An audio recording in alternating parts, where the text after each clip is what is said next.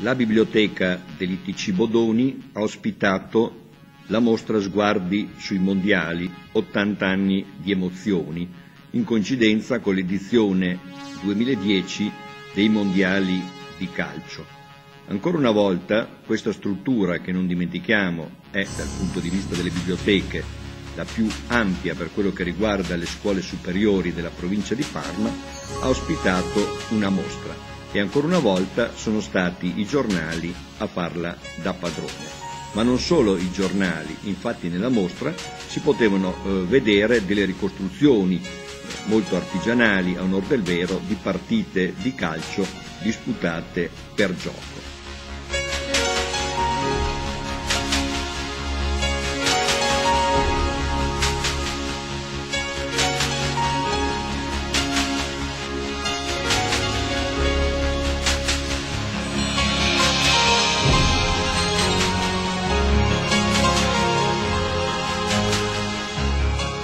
Giornali erano prevalentemente italiani, ma non mancavano anche delle riviste straniere.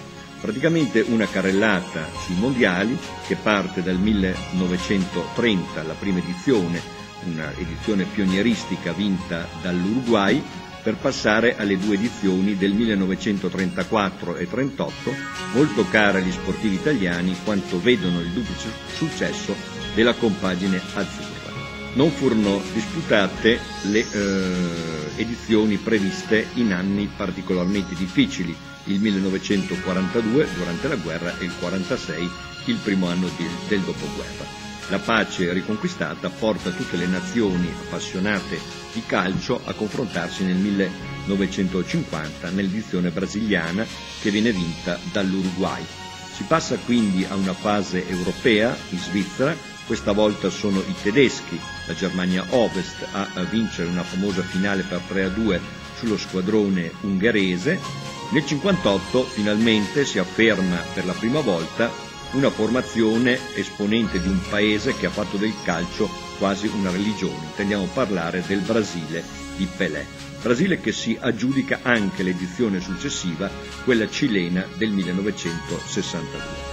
Nel 66 sono i padroni di casa dell'Inghilterra, una discussa finale con l'Unione Sovietica, a conquistare il titolo. Titolo che torna nuovamente in Brasile nel 1970 nella famosa finale vinta contro l'Italia di Boninsegna per 4 a 1 col famoso episodio della staffetta Mazzola-Rivera. Nel 74 sono ancora i tedeschi a rivincere il titolo mentre nel 78 un'altra eh, vittoria sudamericana, questa volta con i bianco-blu dell'Argentina.